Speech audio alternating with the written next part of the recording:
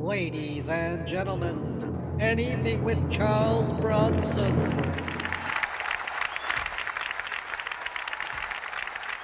Nice to meet you. I'm Charles Bronson.